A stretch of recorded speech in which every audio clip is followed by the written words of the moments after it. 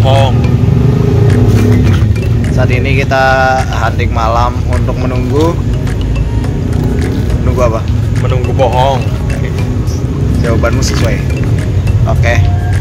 Dapat kereta api apa aja sih? Dan kita akan membahas KPK 2023 di kereta malam hari ini. Kalau misalnya kemarin tuh terakhir eh, jelasin cuman Singasari doang. Kali ini kita jelasin semua kereta yang akan melintas Oke. Selamat menyaksikan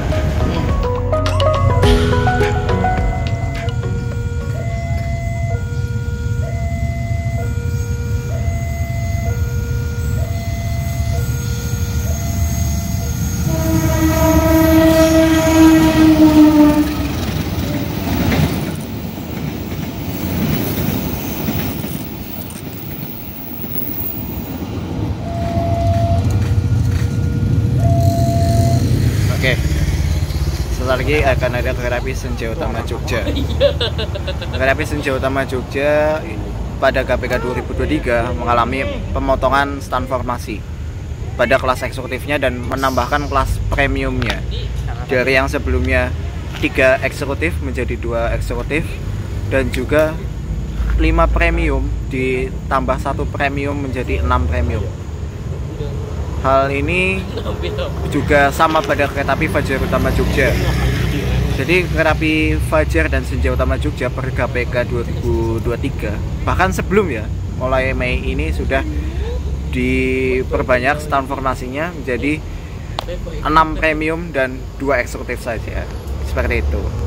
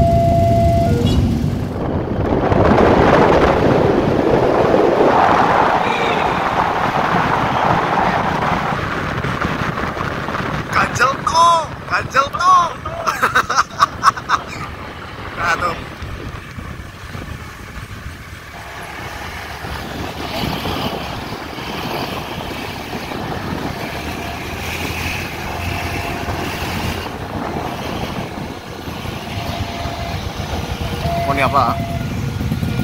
Ya, karena ya, ya di hunting sebelumnya tuh malam hari ini setelah Senja Utama Solo lewat langsung ke siang hari.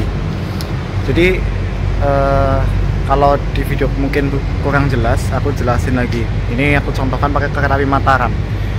Kereta api Mataram dan kereta api Senja Utama Solo Fajar Utama Solo itu per KPK 2023 mengalami pemotongan stand formasi pada kelas eksekutifnya. Yaitu hanya membawa dua kelas eksekutif dan tujuh kelas premium. Untuk kelas premiumnya itu tetap membawa 7 hal ini menjadikan kereta api Fajar Utama Solo maupun Senja Utama Solo dan Mataram hampir mirip sekilas kereta kayak kereta api Saunggalih dan Fajar Utama Jogja Fajar Utama Jogja juga mengalami pemotongan em, stand formasi menjadi dua kereta kelas eksekutif dan 6 kelas premium. Untuk kelas premiumnya ditambah menjadi satu premium yaitu membawa 6 dari yang sebelumnya 5 premium. Seperti apa videonya? Saksikan dulu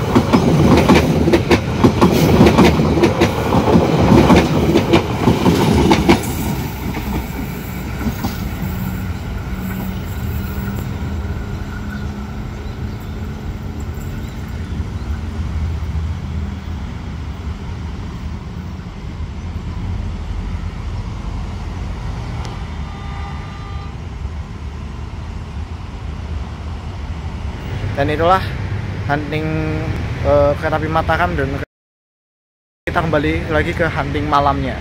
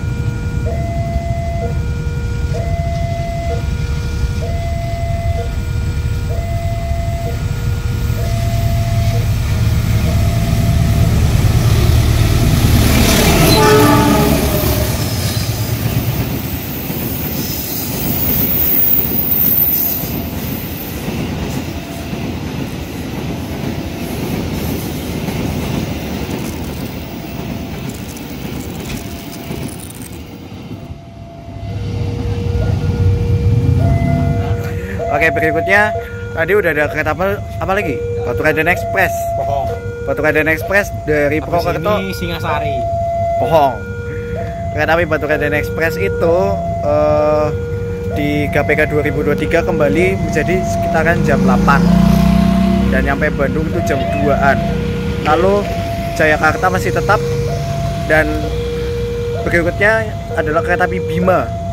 Iya. Kereta api Bima itu pada siang harinya akan menjadi kereta api Argo Semeru. Iya.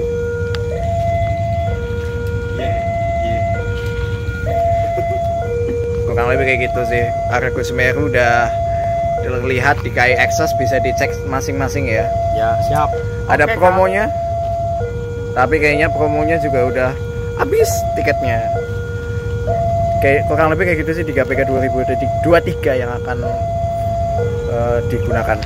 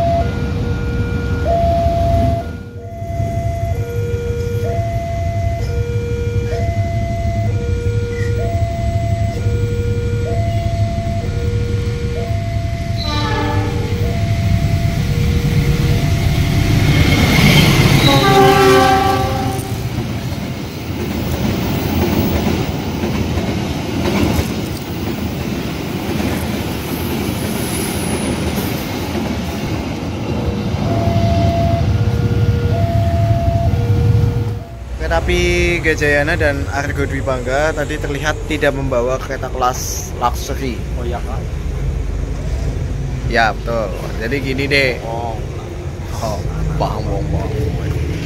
Jadi karena kereta luxury-nya itu sedang perawatan P48 di ya di Balai Asa ya. Eh, jadi kereta api luxury, kereta api Argo Dwi Bangga, nanti Argo Dwi Bangga, Argo Lawu, Gajayana, Sembrani juga itu eh, tidak dibawa alias tidak dijual karena sedang dilakukan perawatan kemungkinan untuk mengejar target di Idul Adha besok. Oke, kita tunggu sesaat lagi yang akan melintas adalah kereta api Jayakarta.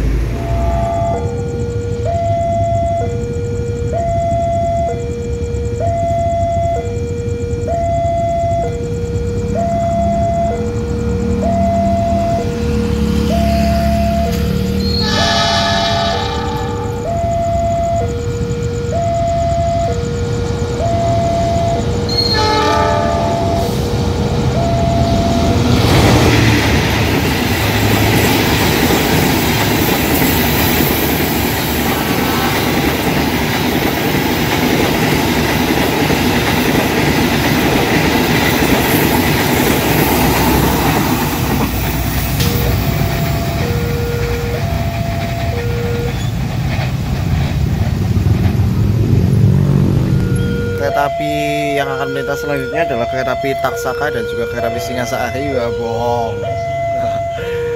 Dan di KPK 2023 Taksaka nggak ada perubahan kayaknya. Tapi untuk Singasari dia akan uh, rollingan dengan kereta api Bangun Karta dan eksekutifnya itu di KPK 2023 kereta api Singasari eksekutifnya dipotong menjadi empat eksekutif dan ekonominya tetap 5 ekonomi modif jadi mengikuti dengan stand formasinya kereta api Karta ya. Nggak membawa 5 eksekutif. Dan hanya membawa 4 eksekutif aja. Kita lihat kereta api Singasari yang uh, kemungkinan ini udah mulai disusun sesuai dengan KPK 2023